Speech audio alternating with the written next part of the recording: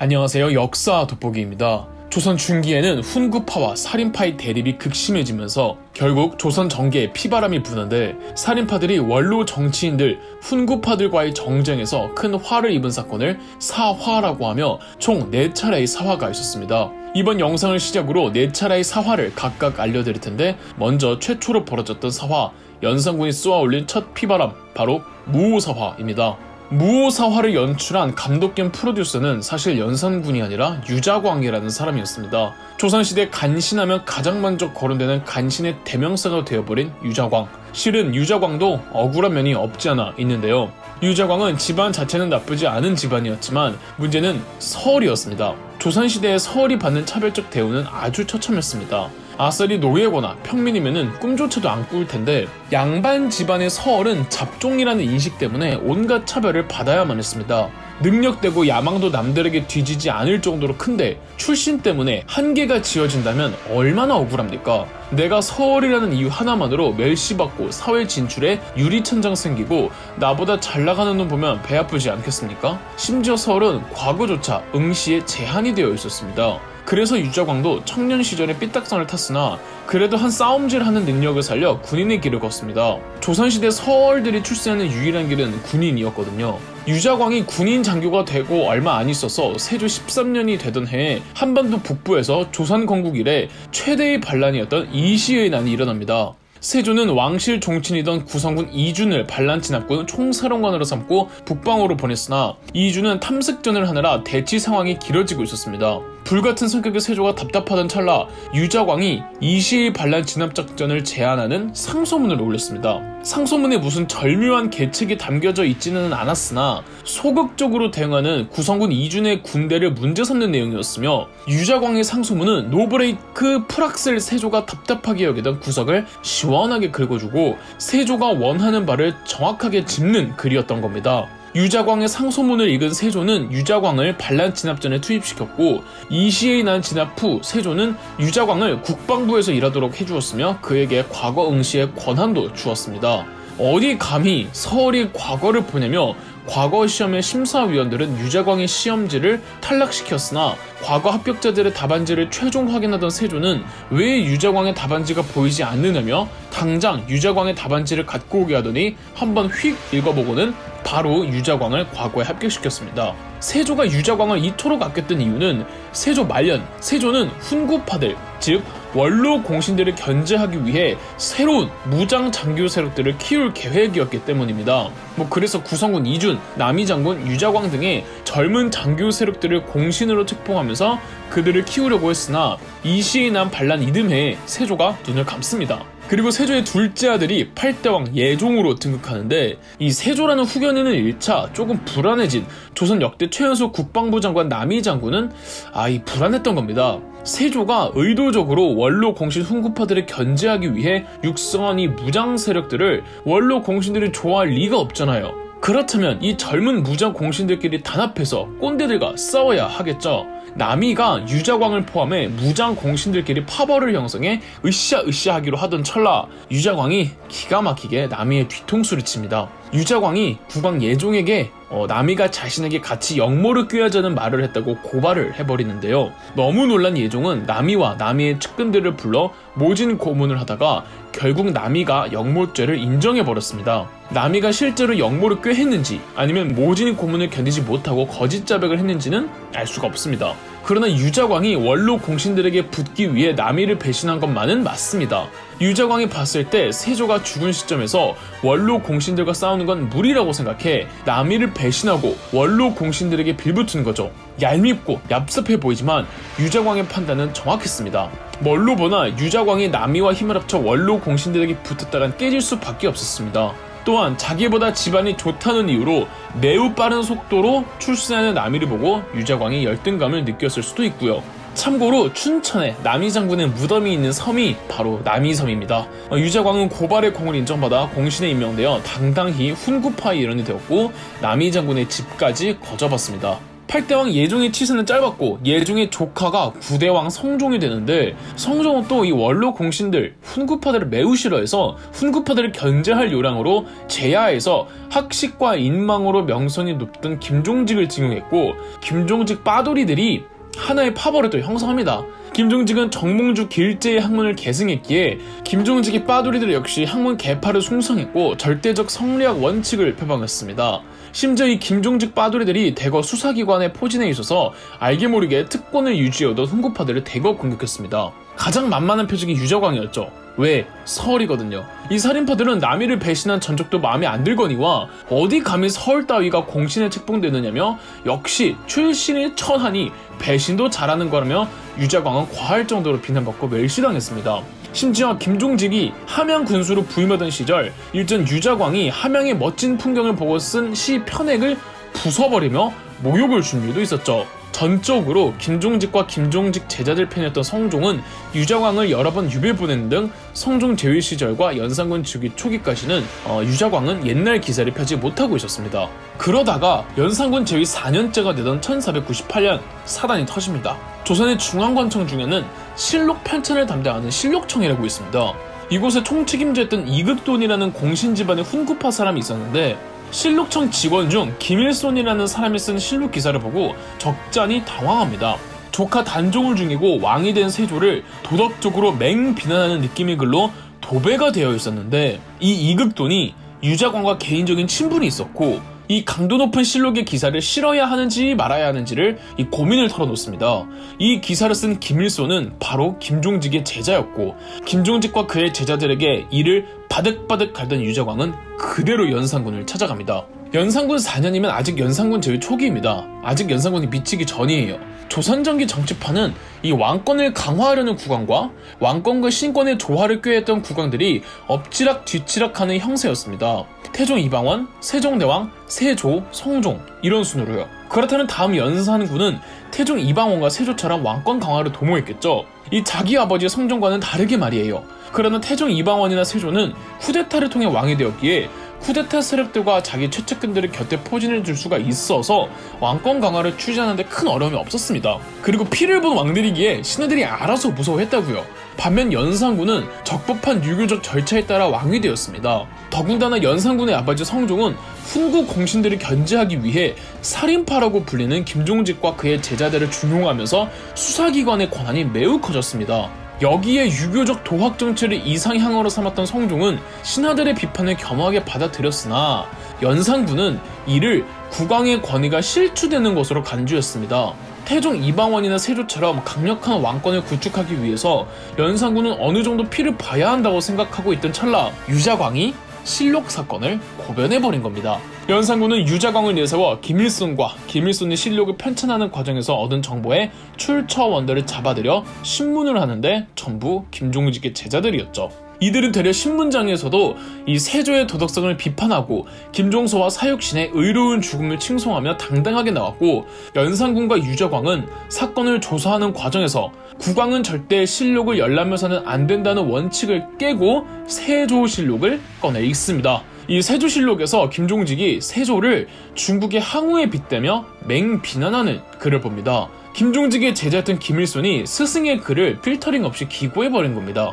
중국 역사상 가장 힘쓴 항우에 빗댄 건 좋은 거 아니냐고 할 수 있겠지만 그럴 의도로 세조와 항우를 비교한 게 아니라 어, 항우는 자기 출세에 방해되는 어린 황제를 야비하게 죽인 일이 있었습니다. 김종직은 항우의 손에 살해당한 어린 황제 의제를 조문하는 걸 이른바 조의제문이란 글을 썼고 이 글은 항우를 폄훼하고 깎아내리는 건데 이건 누가 봐도 세조를 디스하는 거였습니다. 아무리 세조가 선대왕이고 실록은 역사서지만 이는 엄연히 국왕을 향한 모욕이었고 유자광을 비롯해 안 그래도 수사기관에 종사하면서 설치되던 김종직 제자들이 안 왔던 훈구파 대신들은 이런 살인파들에 대한 극형을 주장했습니다. 당시 김종직은 이미 죽은 상태라 연산군은 김종직의 무덤을 파헤쳐 시신의 목을 한 번 더 베어버리는 부관참시 명령을 내렸고 김일소는 능지처참형에 나머지 김종직의 제자들과 실록 사건에 관계된 사람들도 대부분 처형되거나 유배가게 되었습니다. 이 사건이 살인파들이 겪은 최초의 사화,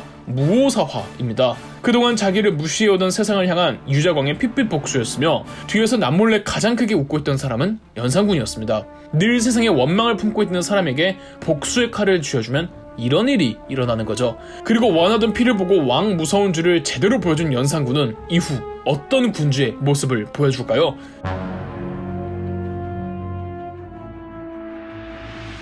연산군 제위 10년째가 되던 1504년 3월 깊은 밤 연산군은 방으로 이복 동생 두 명을 부릅니다. 두 동생들이 연산군 방을 찾아 가는데 방 바깥에서 연산군 앞으로 두 사람이 쓰러져 있었습니다. 깊은 밤인지라 어두워 누구인지 식별이 불가능했는데 연산군은 두 동생에게 몽둥이를 주면서 이 두 여인은 큰 죄를 지었으니 두 동생이 직접 몽둥이로 때려 죽이라는 명령을 내렸습니다. 두 동생은 무섬에 벌벌 떠며 일단 연산군이 시키는 대로 몽둥이로 두 여인을 냅다 패면서 안에 있는 사람들을 죽였습니다. 알고 보니 두 여인은 성중의 후궁들, 즉 연산군이 부른 두 동생의 친어머니들이었습니다. 이번 영상은 지난번 사화사부작 1편에 이은 2편 갑자사화 편입니다. 1498년 연산군이 무오사화를 통해 살인파들과 살인파들을 득실거리는 수사기관에게 왕 무서운 줄을 제대로 보여준 이래 확실히 살인파들의 강도 높은 국왕 비판과 잔소리는 크게 줄어들었습니다. 그래서일까요? 무오사화 이후 몇 년간 연산군은 지극히 정상적인 국왕의 모습을 보여주었습니다. 경연도 잘 참석하고 신하들 목소리에 귀 기울이고 국가의 여러 병폐들을 찾아내 개선시키거나 정책적으로 보완하는 등 국왕으로서 나름의 제 역할을 잘 합니다. 그러나 사적으로는 음흉한 기운이 흐르기 시작하는데 알 수 없는 이유로 내시를 비롯해 연산군을 모시는 궁인들이 곤장을 많이 맞았다고 합니다. 그리고 경복궁 궁궐 담높이를 높이고 높은 곳에서 경복궁을 내려다볼 수 있는 위치에 절과 사가들을 전부 헐어버리기도 했습니다. 또한 그 유명한 장록수를 후궁으로 들이면서부터 연산군의 사치벽도 점점 심해져 갔습니다. 무오사화는 연산군이 피바람을 불게 한 건 맞지만 정치적인 맥락에서 왕권 강화를 추구하던 연산군이 본보기를 보여주었을 뿐 폭군으로 미친 개마냥 폭주한 건 아니었습니다. 이 일이 있기 전까진 말이죠. 1503년 연산군 제위 9년째가 되던 해 연산군이 신하들을 불러다 뒤풀이 연회를 연 적이 있습니다. 연산군은 연회 자리에서 이쇠자라는 예조 판서에게 술을 내렸습니다. 그런데 이쇠자가 술을 마시면서 술 몇 방울을 연산군의 옷에 흘렸나 봅니다.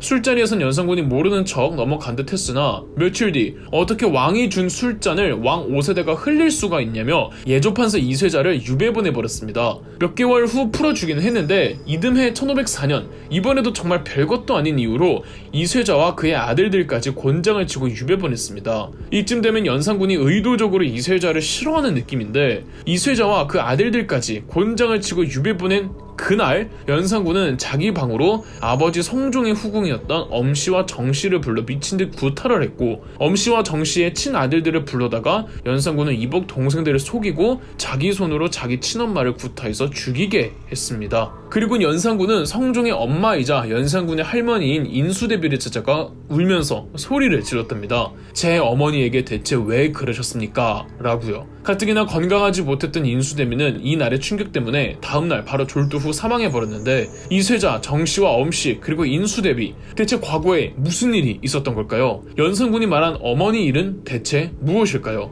때는 연산군이 태어나기 전 연산군의 아버지이자 조선의 구대왕인 성종 때로 거슬러 올라갑니다. 성종에게는 후궁이 정말 많았습니다. 그 중에 숙이 윤씨라는 후궁이 있었는데 이 후궁이 아주 대단한 가문 출신은 아니었지만 숙이 윤씨는 외모가 정말 예뻐서 성종의 사랑을 독차지하고 있었고 행실이나 언행도 착하기로 소문이 나 있었으며 무엇보다 성종의 어머니라든지 왕실 어른들에게 그렇게 싹싹하게 잘했더랍니다. 여기 숙이 윤 씨가 성종의 아이를 임신까지 하게 되니 윤 씨의 이미지나 입지가 떡상하게 되죠. 숙이 윤 씨가 후궁으로 들어오고 1년 후 성종의 정비가 죽으면서 왕비의 자리가 비게 됩니다. 새롭게 왕비를 드리는 것보다는 후궁 중에 한 명을 왕비로 임명하는 게 낫다고 생각한 성종의 어머니 인수대비는 숙이 윤 씨를 왕비로 삼습니다. 인수대비는 일부러 윤 씨를 왕비로 삼을 생각을 했을 만큼 윤 씨의 인기는 왕실에서나 조정에서나 상당히 좋았죠. 여기에 왕비가 된 후 윤 씨가 출산을 하는데 심지어 아들인 겁니다. 이 아들이 성종의 장남이었기 때문에 축하를 한 몸에 받았고 조선 개국 이래 장남 세자 출신의 국왕들이 많지 않아서 이 아이는 온 신하들의 기대를 한 몸에 받았습니다. 그런데 왕비가 된 윤 씨의 행동이 이전과 180도 달라집니다. 성종이 어머니 인수대비를 포함해 왕실 어른들에게 매우 불량하고 거만하게 대하는가 하면 누군가를 저주하는 내용이 적힌 책과 심지어는 방에서 독약이 발견되기도 합니다. 이걸 발견한 건 다름 아닌 성종이기도 했고요. 그리고 윤 씨는 다른 후궁들이 자기를 음해하려 했다는 헛소문을 퍼뜨리기도 합니다. 윤 씨의 이미지는 순식간에 급락하여 성종과 인수대비는 그녀를 후궁으로 강등하려고 계획까지 세웁니다. 그런데 신하들의 반대로 처음에는 그냥 넘어갔습니다. 성종과 인수대비가 윤 씨를 후궁으로 강등한다는 문제를 공론화하고는 윤 씨의 악행은 더 심해졌습니다. 다른 후궁들은 못 살게 굴었고 성종이 다른 후궁이랑 동침하고 있는데 다짜고짜 문을 열지를 않나 성종과 몸싸움을 하며 성종의 얼굴을 할퀴기까지 했습니다. 그리고 노골적으로 성종을 어떻게 해버리겠다는 말을 떠벌리고 다니기도 합니다. 궁궐의 궁인들과 후궁들까지도 중전이 너무 무섭다며 성종에게 울고 불며 고해 바치는 사람들도 있었고요. 그 중엔 엄씨와 정씨도 있었던 거죠. 결국 성종은 엄마 인수대비를 꼬드겨 윤씨를 아예 폐선시켰습니다. 후궁으로 강등된 정도가 아니라 민간인이 되어버린 거죠. 시간이 흐르며 조정에서 패비 윤씨에 대한 동정 여론이 일자 신하들 말에 귀 기울이던 성종조차 패비 윤씨 문제만 나오면 신경질을 부리고 강경하게 나오자 그제서야 신하들도 성종 눈치를 살핍니다. 성종은 자꾸 동정 여론이 나오면 곤란하다고 생각해서 어머니 인수대비와 같이 패비 윤씨에게 사약을 내리기로 합니다. 그렇게 패비 윤씨가 사약을 먹고 죽는데 이때 사약을 건네주러 갔던 사람이 이쇠자였고 몇 년 후 패비 윤씨가 낳은 아들이 연산군으로 즉위하게 되죠. 패비 윤씨 사건이 있었을 때 연산군은 너무 어렸기에 성종은 패비 윤씨에 대해서 어느 누구도 연산군에게 언급을 하지 못하도록 했습니다. 신하들도 연산군이 어머니 죽음의 진실을 알아봤자 좋지 않다는 것을 알고 있었기 때문에 쉬쉬했습니다. 연산군이 동생들을 불러다 지들 어머니와 사이가 좋지 않던 후궁들을 때려 죽이게 하고 자기 어머니에게 사약을 주었던 이쇠자에게 벌을 주고 할머니를 찾아가 울며 항의하기 전까지는 모두가 연산군이 패비 윤씨의 진실을 모르고 있다고 생각했습니다. 그러나 연산군은 전부 알고 있었던 겁니다. 연산군을 다룬 숱하게 많은 사극에서 갑자사월을 다룰 때 어머니의 죽음을 우연히 알게 된 연산군이 화를 주체하지 못하고 충동에 가까운 대학살을 벌였다고 다뤄지지만 여타 여러 가지 상황을 따져보면은 연산군의 피피 복수는 오래전부터 계획하고 있었던 듯합니다. 연산군은 즉위 초부터 꾸준히 알게 모르게 패비 윤씨를 연상하게 하는 발언을 해왔으며 어머니의 무덤과 사당을 더 철저하게 관리하고 그 집안을 다시 복권시켜 주었으며 신하들에게 어머니의 죽음에 있어서 무엇이 정의로웠는지를 물어보는가 하면 연산군이 자기 아빠 후궁들을 어, 아들들 시켜서 때려 죽이는 그 며칠 전에는 임사홍이 연산군을 찾아가 본인은 패비 윤씨가 사약을 받던 시절에 혼자서 반대했던 사람이라며 어필을 했던 기록도 있는 등 여러 가지 징후들이 있었습니다. 인수대비 사망 후 상중임에도 연산군은 이쇠자에게 자기 어머니에게 그랬던 것처럼 똑같이 사약을 내리고 자기 아버지 성종이 어머니에게 사약을 내릴 때 동조했었던 신하들 명단을 만들라는 지시를 내리기도 했습니다. 성종이 패비 윤씨에게 사약을 내릴 때 호응했던 신하들은 당연히 똥줄이 탔겠죠. 살아있는 사람들은 유배를 가게 되거나 권장을 맞거나 심하면 자살 명령을 받던지 능지처참을 당했습니다. 당시에 호응했던 신하들 중 이미 죽은 사람들 예컨대 정 창손, 심해, 한명의, 정인지 4명은 시체를 끄집어다가 목을 한 번 더 베는 부관참시 명령이 내려졌습니다. 왜 영화 관상을 보면 송강호가 영화 마지막에 한명회에게 자네 목이 잘릴 상이라고 하죠. 한명회는 죽고 나서 목이 잘리는 겁니다. 연산군의 행보가 다소 과하다고 생각한 조선의 최고위직 정승들 한치형, 이급균, 성준 등이 나서서 연산군을 말리자 연산군은 세색에 전부 자결 명령을 내린 후 시체의 팔다리를 자르는 부관 능지 명령을 내렸습니다. 이때 이급균은 죽기 전까지 자기는 잘못한 것이 없다고 우기자 연산군은 이급균의 8촌인의 친척들을 전부 북방의 험한 곳으로 강제 이주시켰고 성준의 경우 어머니 패비윤 씨의 죽음과도 관련이 있다는 사실을 알게 된 연산군은 그 늙은 정치인을 땅바닥에 질질 끌어다가 목을 벤후 시체를 다시 5등분으로 찢은 뒤 나중에는 해골을 빻아 뿌려버리기도 했습니다. 그의 아들들과 사위들까지 전부 유배 보낸 후 처형시켰고 성준의 집은 연못으로 만들어버렸습니다. 여기까지 눈치채신 분들이 있을지 모르겠는데 이 사람들 전부 훈구파입니다. 패비 윤씨의 죽음에 동조했던 사람들 대부분이 세조 때의 권신들 훈구파들이었죠. 그런데 왜 갑자 사화라고 할까요? 훈구파를 대거 살해한 후 연산군은 기왕 사륙 파티를 벌인 김에 왕권 강화를 위해 애꿎은 살인파들에게까지 화풀이를 했습니다. 조금이라도 과거에 자기에게 대들었거나 자기가 하고 싶은 걸 말렸거나 심지어는 자기가 먹고 싶은 걸 가지고 뭐라고 했거나 경연장에서 큰 소리를 냈거나 아니면 튀는 행동을 했던 살인파들을 싸잡아 처형시켰습니다. 매일매일 새로운 사람들의 머리가 저잣거리에 효수되었고 국문장에는 고문을 받는 비명소리만 가득했습니다. 이것이 바로 1504년의 갑자사화였습니다. 연산군은 공포 정치를 왕권 강화의 무기로 삼았습니다. 신하들이 무서워서 벌벌 떠는 걸 보고 연산군은 왕권이 강화되었다고 느꼈던 거죠. 피에 중독된 연산군, 그의 다음은 어떻게 될까요?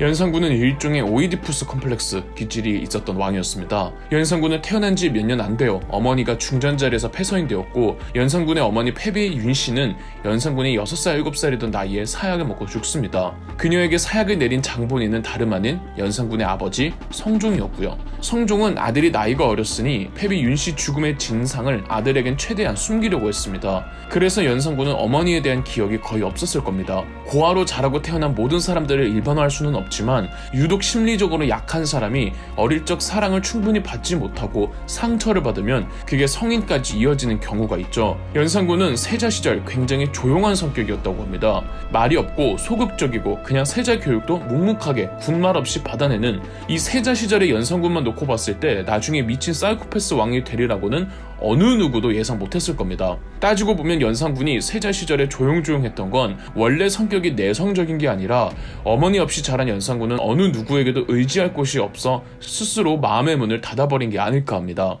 그리고 연산군이 가장 증오했던 한 사람 티를 내지는 않았으나 연산군의 전체적인 생애와 업적을 통해 알 수 있는 연산군의 최대의 적은 바로 아버지였죠. 연산군은 나중에 어머니의 죽음에 아주 조금이라도 직간접적으로 연결되어 있는 사람이라면 잔인하게 죽였습니다. 그리고 아버지가 야심차게 키워놓은 살인파들을 무오사와 갑자사화를 통해 철저하게 짓밟았죠. 언제 연산군이 어머니 죽음의 진상을 알게 되었는지 알 수는 없지만 연산군은 꽤 오랫동안 치밀하게 복수 계획을 준비했고 오래 묵혀둘수록 연산군의 복수는 정말 정말 잔인했답니다. 이러할진데 어머니 페비 윤 씨에게 직접 사약을 주고 누구보다 앞서서 페비 윤 씨를 죽이자고 하고 페비 윤 씨만 나오면 경기를 일으키며 일말의 자비도 베풀지 않았던 자기 아버지 성종에게는 연산군은 어떤 심정이었을지 추론하기 어렵지 않죠. 연산군은 다 크고 나서도 어머니의 사랑을 끊임없이 갈구했는데요. 그런 사적인 연산군의 심리까지 우리가 쉽게 추론해 볼 수 있는 사람은 바로 장록수입니다. 장록수는 가난한 집안에서 태어나 여러 차례 혼인을 하다가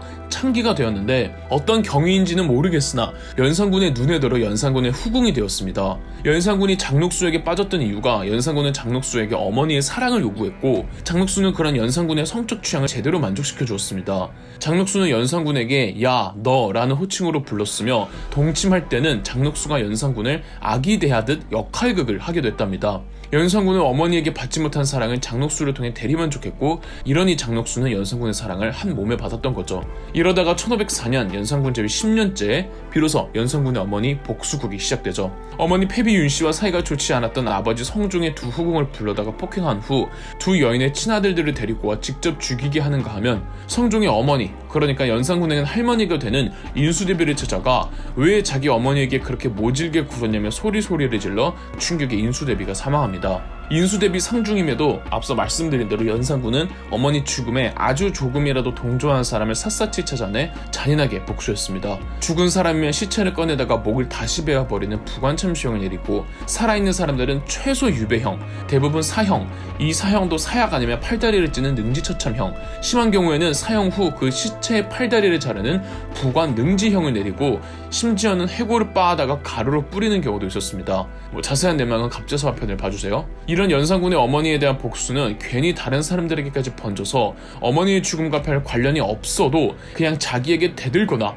싫은 소리를 한 신하들을 대거 숙청합니다. 무작정 공포 정치로만 왕권 강화를 추구했고 무엇보다 연산군이 피맛에 중독이 되는 거죠. 몇명 본보기로 잔인하게 죽여놓으면 다들 알아서 기는 걸 봤으니까요. 갑자사화를 기점으로 연산군이 우리가 아는 폭군이 됩니다. 이전에는 독특한 행동을 안 한 것은 아니나 신하들 의견에 귀를 기울여 주었던 모습이 많았고 외교 문제에 있어서도 신중하고 세심하게 대응했으며 불효미를 베푼다거나 탐관오리 시찰 등 민생 문제에도 많은 관심을 보였습니다. 공자와 맹자와 신하들과 공부하는 거 싫다고 경연을 폐지해버렸던 세조에 비하면요 연산군은 경연에도 참석을 잘했습니다. 하지만 갑자사화라는 한국 역사상 보기 힘들 정도의 잔인한 숙청 후 연산군이 미치기 시작합니다. 신하 들에게 자기 가마를 들게 하는가 하면 사냥 등의 행차를 나갈 때 인근 마을을 싹 다 비우게 하고 경기도에는 금표라는 구역을 정해서 그곳의 백성들 민가를 전부 헐어버리고는 오로지 왕의 사유지로만 사용하게 했습니다. 금표가 하도 많아져서 이제 경기도에 더 이상 금표를 설 수 없을 정도가 되자 원래 충청도에 속했던 평택을 경기도를 편입시켜 경기도를 확대하기도 합니다. 지금의 경기도 평택시가 연산군과 이런 인연이 있는 겁니다. 경기도는 아예 연산군과 장록수의 놀이터였죠. 그리고 연산군 옆에는 임숭재라는 희대의 간신이 있었습니다. 연산군은 예체능의 남다른 소질을 보였습니다. 그가 쓴 시와 그림, 무엇보다 춤 실력은 모두가 감탄했을 정도인데 살인파들은 오래전부터 연산군에게 왕의 예술 활동을 반대했습니다. 연산군이 자기 끼를 방출하지 못해 꿍에 있을 때 임숭재는 연산군의 예술적 비위를 맞추어 주었죠. 임숭재 역시 시에 능통해 연산군과 시를 주고받기도 하며 예술에 관해 이런저런 이야기를 많이 나누면서 연산군은 임숭재를 최측근으로 가까이 하기 시작했습니다. 이제 더 이상 대신들이 연산군의 예술 활동에 대해서도 아무런 제동이나 반대를 하지 못하자 연산군의 예술성은 잘못된 길로 확대되어 버려 연산군의 사생활은 각종 변태짓과 사치스러운 생활들로 난무하기 시작했습니다. 궁궐내 기녀, 내관, 궁인, 심지어 관노비들까지 복장 점검을 수시로 해서 복장이 불량하거나 꾸미지를 않으면 처벌을 했습니다. 연산군의 사치벽도 나날이 심해지고 궁궐에서 너무 많은 연회들이 열렸습니다. 궁궐의 행사나 연회를 기획하고 담당하는 관할을 어, 장학원이라고 합니다. 연산군은 장학원 내 악사들의 수를 몇 배 이상 늘렸으며 장학원에 소속되어 있는 무희와 기생수도 늘렸습니다. 연산군은 장학원 내 악사들을 광희라고 명명했고 기생들은 흥청과 운평으로 명명했습니다. 연산군의 흥청 및 운평에 대한 선발 기준은 대단히 까다로워서 음악적 재능은 물론 미모를 굉장히 중요시 여겼습니다. 이렇게 연산군이 늘린 흥청과 운평의 수가 무려 1000명이었습니다. 전국을 돌며 흥청과 운 운평을 선발하는 관리를 채용사라고 했는데 대표적인 채용사가 연산군의 절친 임숭지였죠. 연산군은 흥청과 운평들과 놀기 위해 경회류를 사치스럽게 꾸미고 심지어 개인 동물원까지 설치했습니다. 연산군은 사람들이 모두 보는 앞에서 서스럼 없이 흥청들과 관계를 맺었으며 마음에 드는 여성을 보면 장록수가 직접 흥청으로 선발했다고 합니다. 심지어 그 여성이 유부녀여도 말입니다. 이때 자기 부인을 뺏기는 사대부들이 굉장히 많았다고 합니다. 심지어 좌이정의 부인까지 건드렸다는군요. 여기서 유래된 말이 흥청망청입니다. 1504년 12월 연산군은 홍문관을 폐지하고 1505년 2월에는 경연을 폐지했습니다.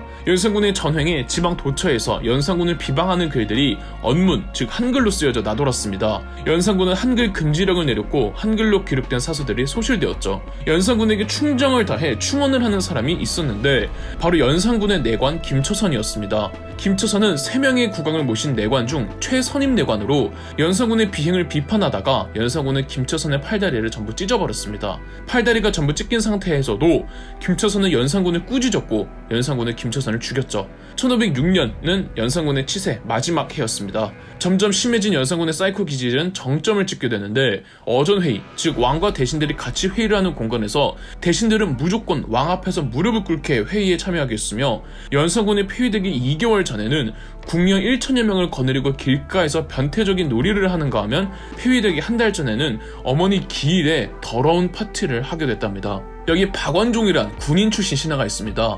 박원종은 워낙 무예도 뛰어나고 주변으로부터 신망도 높았으며 일처리도 일사천리라서 성종과 연산군의 총애를 받았습니다. 박원종은 아마 연산군을 비판한 사람 중에 유일하게 살아남은 사람일 겁니다. 그런데 연산군의 횡포가 점점 심해지자 박원종은 결심을 내립니다. 반정. 이 반정의 직접적인 계기가 연산군이 박원종의 누나를 겁탈했다는데 이 누나가 임신까지 해버렸고 여기에 참지 못하고 박원종이 반정을 주도했다는 설도 있습니다. 어디까지나 설입니다.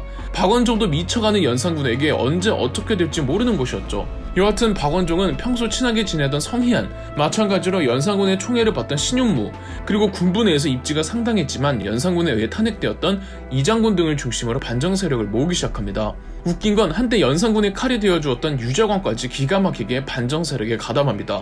박원종의 군부의 위치가 상당했기 때문에 군대를 모으는 일은 어렵지 않았고 1506년 9월 2일 새벽에 박원종은 궁궐로 들이닥쳐 간신 무례배들을 즉각 처형하고 연산군을 폐위시켰습니다. 그리고 연산군의 이복 동생 진성대군이 새로운 국왕 중종으로 즉위했습니다. 연산군은 강화도를 유배분에 졌다가 2개월 만에 병에 걸려 죽고 말았습니다. 장록수는 처형되었으며 처형장에 있던 성남 백성들이 장록수에게 돌을 던져 장록수의 시체는 돌에 깔렸다고 합니다. 연산군의 중전이었던 신씨와 세자 및 다른 왕자들은 유배를 갔다가 이내 사약을 받고 사사되었습니다. 진짜 쓰레기 중에 쓰레기인 임숭재는 반정 1년 전에 전학기의 미인을 더 바치지 못해 안타깝다라는 희대의 망언을 남기고 병에 걸려 죽어서 반정의 화를 피할 수는 있었습니다. 반정 딱 일주일 전에 연산군은 여느 때와 다름없는 연회 자리에서 느닷없이 눈물을 흘리며 왕비와 후궁들에게 만남이 있으면 헤어짐이 있다 이런 말을 했답니다. 장록수와 중전 신씨는 눈물을 흘렸으며 연산군은 만약 자기에게 무슨 일이 생기면 두 사람도 부사하지 못할 거라며 미안하다고 통곡했다고 합니다. 반정 당일에도 연산군은 도망가지 않고 순순히 붙잡혔으며 이런 말을 했다죠. 이렇게 될 줄 알았다? 좋을 대로 해라. 연산군은 정말이지 연구 대상인 것 같습니다.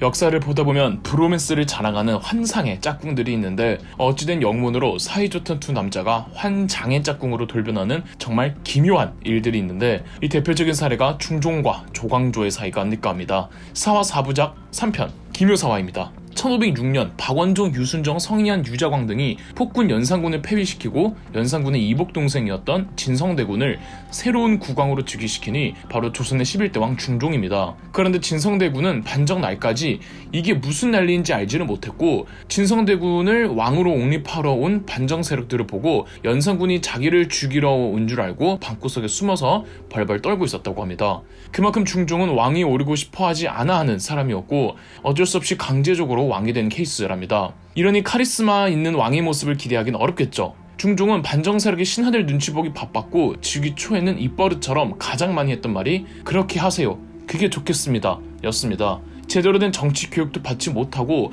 얼떨결에 왕이 된 중종은 그저 반정 공신들이 하자는 대로 하기만 하는 힘없는 예스맨이었습니다. 이 사람을 등용하기 전까진 말이죠. 이런 중종도 재위 10년째가 되던 1515년 충격적인 상소문이 올라옵니다. 조선시대 수사기관의 양대 산맥인 사헌부와 사관원의 전 직원 물갈이를 주장하는 상소문이었습니다. 상소 골자는 현재 사헌부와 사관원이 본래의 기능을 잃고 공신들, 훈구파 눈치나 보고 있으니 이 대가리들이 전원 교체될 필요가 있다는 내용이었죠. 물론 맞는 말이었습니다. 이 반정을 통해 왕이 된 중종 치세에는 공신들이 비대해질 정도로 다시금 많아졌습니다. 왕이 눈치 살 정도였으니까요. 그렇지만 지금의 감사원 대검찰청 역할을 하는 사헌부와 사관원의 윗분들을 전부 교체하라는 상소는 파격적인 주장이기도 했습니다.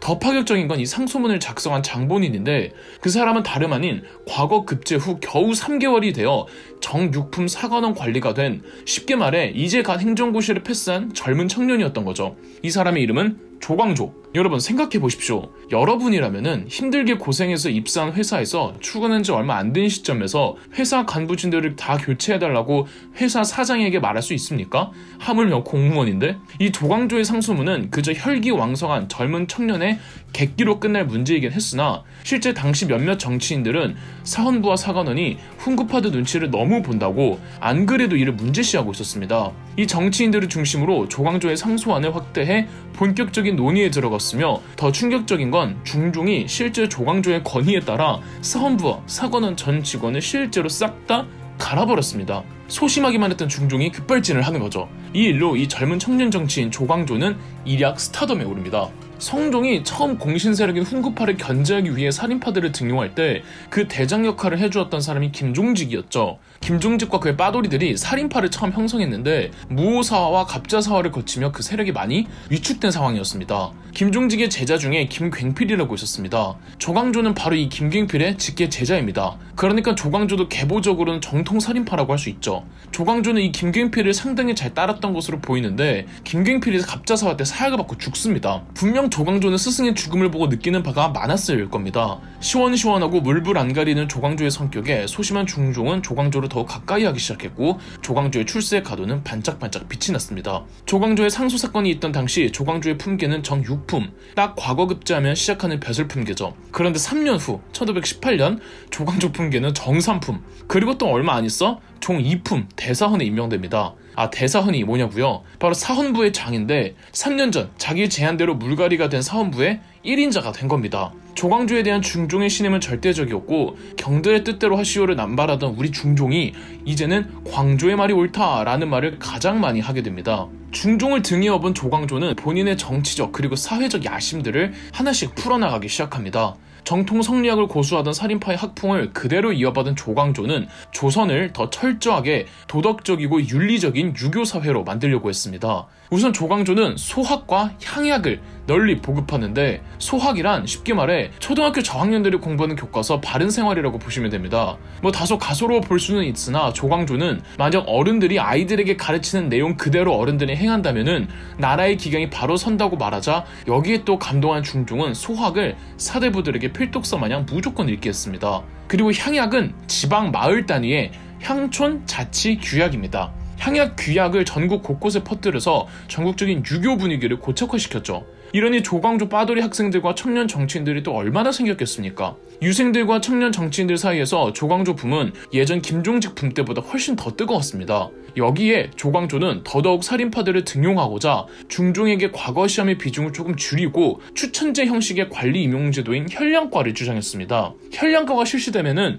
실세인 조광조가 지방의 사람들을 대거 등용할 게 뻔했기 때문에 훈구파 권세가들은 반대를 했으나 조광조 팬클럽 회장이었던 중종은 다 무시하고 조광조 편을 들어주어 현량과를 실시했습니다. 이렇게 중종과 조광조는 천생연분인 듯 했으나 중종이 처음으로 조광조에 대해 언짢아하는 일이 발생했습니다. 바로 소격사 폐지죠. 소격사란 왕실에서 주관되는 도교적 행사를 담당하는 부서입니다. 비록 조선이 유교 국가였으나 과학이 발달하지 못한 시기였고 한반도의 토착 민간 신앙에 기반을 둔 도교 행사는 삼국시대 이래 국가의 중대 행사이기도 했습니다. 하지만 조광조 휘하 사람들은 성리학의 절대화를 고집했기 때문에 소격서를 이단화적인 종교로 해석했죠. 하지만 왕실이든 사대부든 백성이든 한국인이라면 누구나 어느 정도는 토착 신앙에 마음이 갈 수밖에 없을 겁니다. 중종은 유교를 숭상했던 선대 왕들조차도 소격서를 폐지 안 한 데에는 이유가 있다며 처음으로 중종은 조광조의 권위를 들어주지 않았습니다. 이에 조광조를 따르는 젊은 관리들이 집단 사직을 하기 시작했고 성균관 유생들도 멋대로 등교를 거부했습니다. 고집을 부릴 줄 몰랐던 중종은 하는 수 없이 소격사를 폐지했으나 조광조가 동원할 수 있는 힘을 보고 중종 개인 입장에선 다소 찝찝했을 겁니다.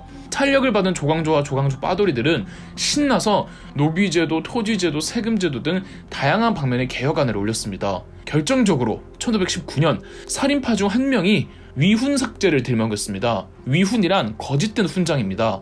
중종 반정 이후 반정의 공을 인정받아 공신으로 임명받은 숫자가 너무 많다며 실제로 반정에 참여를 했으면 모를까 참여하지도 않은 채 이름만 올려서 국가로부터 받는 혜택이 너무 많아 국가 재정을 좀먹는다며 거짓된 훈장 위훈을 삭제하자는 제안을 합니다. 여기에 조광조가 지지를 해주었죠. 실제 위훈 받아먹은 훈구파들이 대부분인 건 맞았습니다. 그리고 이 공신들이 국가로부터 받은 혜택과 토지 때문에 문제되고 있던 부분도 한두 가지가 아니었고요. 하지만 가장 화가 난 사람은 중종이었습니다. 논공 행상을 개정하는 건 중종 입장에서는 자기 결정을 번복하는 행위거든요. 그런데 훈구파들조차 위훈 받은 놈들이 문제는 문제라며 또 조광조 편을 들어주자 또 중종은 하기 싫은 위훈석제를 해주었고 뭐 소격서 폐진이 위훈석제니 구체적인 정책 내용을 떠나 자기가 하기 싫어해도 조광조가 하고 싶으면 무조건 되게 되어 있구나를 느낀 중종은 충격적인 결정을 합니다. 1519년 남곤, 심정, 홍경주 등 조광조를 비롯한 신진 살인파들의 개혁에 탐탁치 않아 하던 보수적 성향의 대신들이 갑자기 중종과 개인적인 면담을 하는 빈도수가 늘어납니다. 이 면담 자리에서 무슨 대화가 오갔는지 실록에서조차 적지 못할 정도로 비밀리에 진행되었습니다. 이 보수적 성향의 훈구파들은 나뭇잎에 특정 글자 모양으로 꿀을 발라놓고 벌레가 먹게 했습니다. 그러면 벌레가 먹은 꿀 모양대로 글자가 나올 거 아닙니까? 보수파들은 이 나뭇잎에 새겨진 글자를 들고 중종을 찾아가서 이 궁궐의 나뭇잎에 주초위왕이라는 글자가 새겨졌다며 조광조 휘하크 일당의 검은 마음을 경계하고 국왕의 권위에 도전한 죄를 물어야 한다고 주창했습니다. 주와 초를 합치면 조광조의 조자가 됩니다. 위 왕은 왕이 된다는 뜻이니 주초위왕이란 조광조가 왕이 된다는 의미를 담은 문구였습니다. 말이 됩니까? 겨우 이 말 하나 듣고 중종이 그렇게 총애했던 조광조를 벌할까요? 네, 대대적인 숙청이 이루어졌습니다. 주초 이왕 일화는 사실 실록에는 없는 이야기이며 누군가의 사적인 역사서에 기록되어 있는 내용이라 사실대로 받아들이기엔 좀 어렵습니다. 중종은 야심한 새벽 남곤, 홍경주, 심정 등에게 군사를 데리고 경복궁 북문에서 집결하라고 명령했습니다. 그리고 중종은 비밀리에 국왕 비서실 관리들을 전부 새 관리대로 교체해버렸습니다. 당시 국왕 비서실 직원들도 전부 조광조 빠돌이들이었거든요. 죄목은 국가의 기강을 어지럽혔다는 죄였습니다. 이와 왕의 비서실 외에도 조광조는 물론 조광조를 따르는 신하들 전부 체포하고 하옥시켰습니다. 조광조 등이 체포된 게 11월 15일 위훈이 삭제되고 4일 만에 벌어진 일이었습니다. 체포되어 하옥된 조광조는 옥중에서 5만 가지 생각을 다 했을 겁니다. 조광조의 후배들 혹은 가족들이 조광조 면회를 왔는데 조광조가 이들에게 술을 부탁했고 옥중에서 조광조는 하루 종일 술만 마셨다고 합니다. 조사를 위해 조광조가 끌려갔을 때 조광조가 워낙 만취 상태라 조사가 불가능해 조사 일정이 취소될 정도였다고 합니다. 그리고 중종은 조광조의 처형을 입에 담았습니다. 당연히 다른 훈구파들이 중종의 의견에 동조해주는 줄 알았는데 한때 연산군 시절에 피바다 숙청에 환멸을 느낀 훈구파들도 삭탈 관직으로 마무리하자고 했습니다. 11월 16일 중종은 조광조와 그 일파에 대해 유배로 사건을 마무리하기로 했습니다. 조광조가 유배를 간 지 한 달 후 중종은 다시금 조광조를 언급하며 조광조에 대한 처형을 다시 언급했습니다. 역시 훈구파들이 반대했지만 중종은 끝까지 사형을 고집했고 결국 조광조는 사약을 먹고 죽습니다. 중종이 직접 발탁해 조선의 개혁을 도모했던 조광조는 중종이 내린 사약을 먹고 죽은 거죠. 조광조 일파 중 대표적인 인물이었던 김정, 기준, 안당 등 역시 전부 처형됐습니다. 조광조 일파 약 20여 명이 처형됐고 조금이라도 관계된 자들은 처형까지는 아니지만 정치적으로는 완전히 실각해버리죠. 이 사건이 바로 세 번째 사화 김효사화입니다. 나중에 율곡 이이는 조광조에 대해 조광조가 도학을 실천하고자 왕에게 왕도의 철학을 이행하도록 간청하기는 하였지만 그를 비방하는 입이 너무 많아 비방의 입이 한 번 열리자 결국 몸이 죽고 나라를 어지럽게 하였으니 후세 사람들에게 그의 행적이 경계 대상이 되었다고 평가했습니다. 여러분은 조광조에 대해 어떻게 생각하시나요?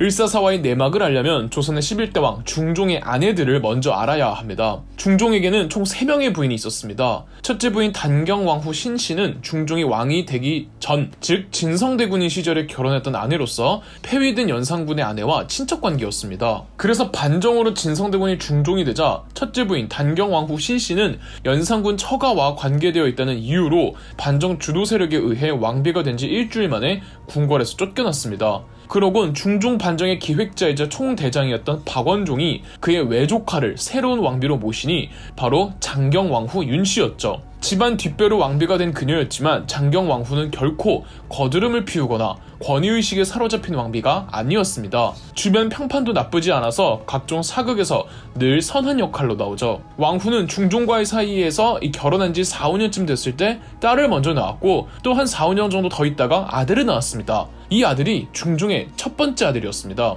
조선 왕실에서는 후계를 안정적으로 이을 수 있는 아들이 태어나면 정말 큰 경사랍니다. 하지만 기쁨도 잠시 장경왕 후는 중종의 장남아들 2호를 낳고 얼마 안 있어 산후병으로 사망하고 맙니다. 왕실에서는 국왕으로 등극하려면 어머니의 존재도 굉장히 중요합니다. 어머니, 즉 왕비의 집안이 과연 나를 지탱해줄 수 있는 집안인가도 굉장히 중요한데 적어도 아이가 클 때까지는 보호자 역할을 해줄 사람이 필요한 거죠. 그런데 왕자가 아직 다 크기도 전에 왕비가 죽어버린다면 이 왕자의 성장 과정과 등급 과정이 다소 험난해지게 됩니다. 왕비의 자리를 언제까지 비워둘 수가 없던지라 장경 왕후가 사망하고 몇 년 뒤 1517년 같은 파편 윤씨 가문에서 새로운 왕비가 배출됩니다. 조선 역사상 명성황후 다음으로 가장 이름이 널리 알려진 문정왕후 윤씨죠. 문정왕후 윤씨가 어, 왕비가 됐을 때 나이가 17살이었습니다. 비록 중종의 첫째 아들 이호는 문정왕후가 배아파 낳은 자식은 아니지만 엄연히 중종의 적장자였고 문정왕후는 새로운 왕비의 지위로 이제 겨우 두세 살밖에 안 된 중종의 아들 이호를 키워주어야만 했습니다. 중종의 아들 이호 입장에서는 태어나자마자 친모가 죽었고 두세 살 때부터 계모 문정왕후가 자신을 키워주었기 때문에 친모에 대한 기억은 전혀 없었고 사실상 문정왕후가 친어머니나 다름이 없었습니다. 이호는 무럭무럭 자랐고 6살 때 세자에 책봉되었으며 나름 머리도 명석했다는 기록들도 있습니다. 호가 이렇게 잘 자라주고 있을 때 문정왕후 윤씨가 어, 정말 호를 진심으로 자기 아들처럼 잘해주었는지 그랬던 척을 했는지는 모르겠으나 호의 어린 시절에는 일단 별다른 사건은 없었습니다. 이호가 커갈수록 문정왕후도 나이를 먹고 문정왕후가 34살이었던 1534년 덜커덕 아들을 낳았습니다. 이전까지 문종왕후는 딸만 넷을 낳았기 때문에 더 이상 아들을 낳을 수 없다고 생각했는데 아들 경원대군을 낳아버린 거죠. 중종의 장남 호와 둘째 경원대군은 19살 정도 차이가 나는 이복 형제였습니다. 여기서 관계가 애매해지죠. 세자 2호와 경원대군 둘 다 왕비 소생이기에 차기 왕을 이을 정통성은 다 가지고 있습니다. 그래도 장남인 2호가 세자인 마당에 왕위 계승 서열 1위인 건 맞지만 또 정작 현 왕비 문정왕후 입장에서는 자기 배아파 낳은 아들을 왕으로 세우고 싶었겠죠. 여기서 중종의 태세가 참 거시기했는데 늙은 중종은 아내 문정왕후에게 더 의존하는 모습을 보이고 중종도 이제 늙었기 때문에 다 큰 첫째보다는 이제 아장아장 걷는 귀여운 막둥이를 더 좋아했겠죠. 물론 아버지로서 충분히 그럴 수 있다지만 이건 신하들에게 충분히 오해의 소지가 있었습니다. 문정왕후 윤 씨는 자기 남동생 윤원로 윤원형을 내세워 경원대군을 정치적으로 지지해줄 세력을 형성해 나갑니다. 이에 세자의 죽은 치모 장경왕후의 오빠 윤임이 자기의 조카를 지켜주겠다며 윤원로 윤원형 형제에 대항할 또 하나의 정치적 세력을 형성합니다. 이렇게 윤임 등 세자를 무사히 다음 왕으로 올리자는 쪽을 대윤, 문정왕후를 중심으로 경원대군 의미는 윤원로 윤원형 형제 세력을 소윤이라고 불렀습니다. 중종은 노골적으로 대윤을 멀리하고 소윤 세력들을 편애했습니다. 이제 다들 경원대군이 크기만 하면 중종은 분명 세자를 교체할 거라고 예측하던 찰나 경원대군이 고작 10살이었던 1544년 중종이 사망합니다. 경원대군은 너무 어렵고 실제 세자 교체의 제스처는 없었기 때문에 세자 2호가 12대왕 인종으로 즉위합니다. 그럼 이젠 대윤회의 세상이고 소윤에 대한 정치적 보복이 있어야 하잖아요. 인종은 근데 과할 정도로 사람이 착했습니다. 비록 자기와 계모 문정왕후가 갈라졌지만 그래도 인종은 자기를 두 살 때부터 키워준 친모나 다름없다며 왕이 되고도 문정왕후를 깍듯하게 모셨고 문정왕후와 소현조가 싸우기도 싫다면서 윤월로 윤헌형 형제들에게 높은 관직을 제수하는 모습을 보이기도 했습니다. 그런데 인종은 재위 1년을 채우지 못하고 사망합니다. 이 때문에 인종이 문정왕후에게 독살된 게 아니냐는 말이 있습니다. 대부분은 인종이 문정왕후가 준 떡을 먹고 그때부터 갑자기 몸이 안 좋아지다가 죽었다며 문정왕후의 독살설을 기정사실화하고 있으나 이는 사실이 아닙니다. 인종의 실제 사인은 거식증이었습니다.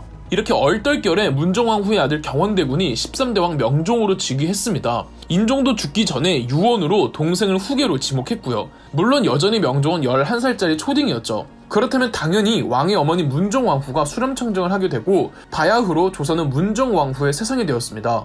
처음에는 문정왕후도 눈치를 봤습니다. 아직 조선의 신하들은 그동안 지나친 사화에 대해 환멸을 느끼고 있었고 최대한 피해 숙청은 자제하자는 주의였습니다. 문정 왕후와 소윤파들은 이 대윤의 대표자들 유님 등 3인방을 유배에 보내는 선에서 마무리했죠. 그러나 문정 왕후의 성격이 그 정도로 타협적인 사람이 아닙니다. 유배를 보내고 얼마 안 있어서 윤원형이 예전 인종이 살아있던 시절 유님 등의 대윤파들이 명종을 독살하려 했다는 헛소문을 퍼뜨렸고 문정왕후는 유배가 있는 유님 포함 대윤 핵심門묘들에게 전부 사약을 내렸습니다. 그리고 그들의 가족 전체가 풍비 박산납니다. 이 사건이 1545년에 있었던 을사사화입니다. 그렇다면 을사사화는 대윤과 소윤의 다툼에서 문정왕후와 소윤이 대윤들에게 정치 보복을 했던 겁니다. 대윤이나 소윤이냐 둘 다 훈구파입니다. 그런데 왜 을사 사화라고 하느냐? 강력한 왕권을 추구하고 싶어 했던 문종왕후는 살인파들도 손을 봐야 한다고 생각해서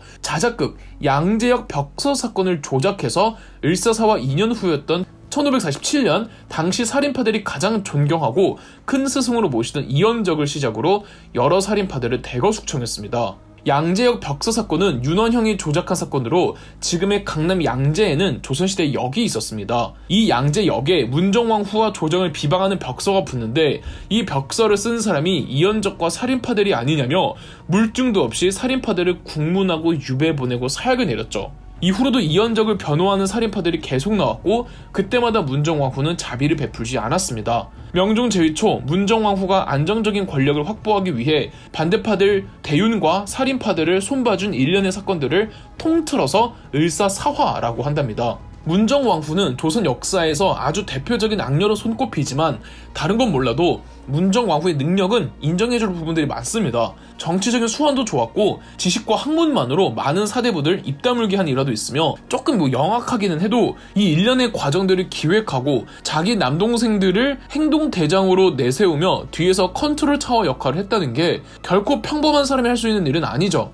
정책적으로도 민생에 관심을 많이 가졌고 왕실의 검소함을 추구하기도 했답니다. 그런데 문정왕후의 존재감이 워낙에 압도적이니까 13대 왕 명종이 많이 묻히는 느낌이죠. 실제 명종하면은 어머니 문정왕후 말고 뭐 딱히 떠오르는 게 없잖아요.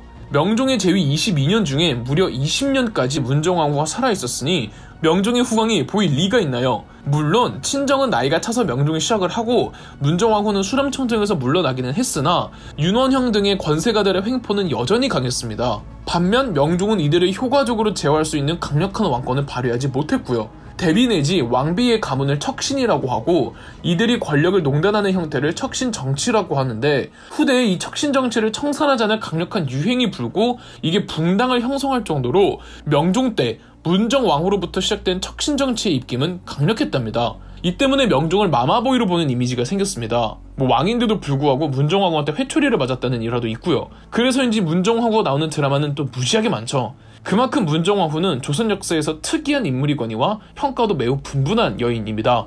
여러분은 문정왕후를 어떻게 평가하시나요? 그럼 역사 돋보기였습니다. 영상 재미있으셨다면 구독과 좋아요, 알림 설정까지 해주시면 감사드리겠습니다.